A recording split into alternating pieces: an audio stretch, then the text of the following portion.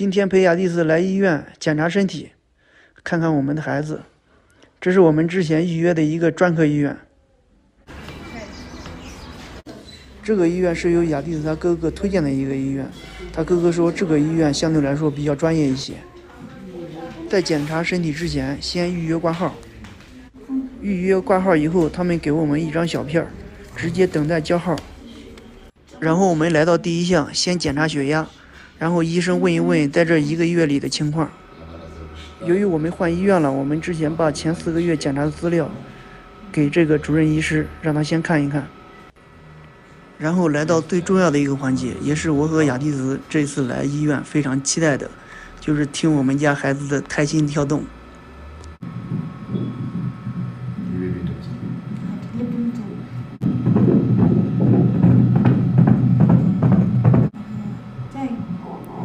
哦，就是听这个声音，我说。Yes, heartbeat. 哦。随后，这位主任医师告诉雅丽子，我们这次怀的孩子是男孩?听到这个消息以后，我和雅丽子都非常的兴奋。Ah. Eh. 最后一个环节就是接种疫苗，医生说每个月接种一次，为了孩子能健康的成长。Чому на я їду?